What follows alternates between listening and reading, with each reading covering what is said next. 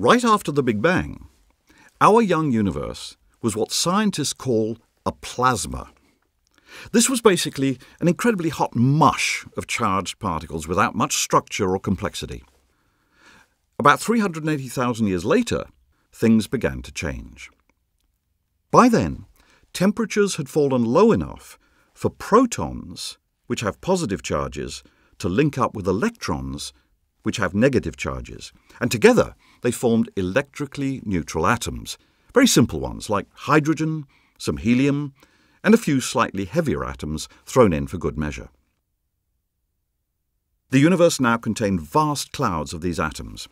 Add gravity, and now you have the ingredients for our second threshold the formation of stars. Here's what happened next. Wherever there is slightly more matter, gravity is more powerful.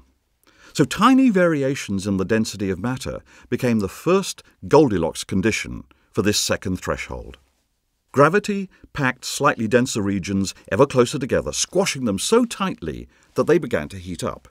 This growing pressure and heat created our second Goldilocks condition.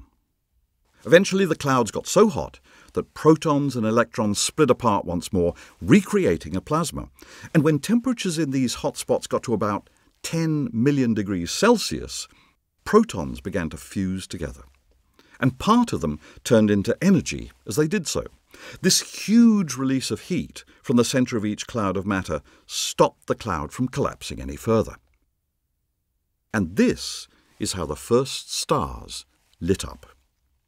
Soon, the universe had billions of hot spots, pouring energy into the cold of deep space.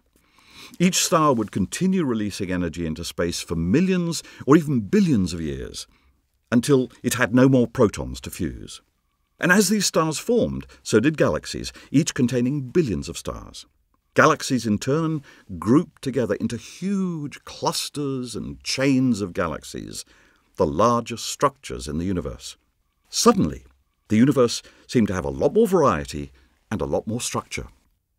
Now, what new things could happen in a universe filled with stars?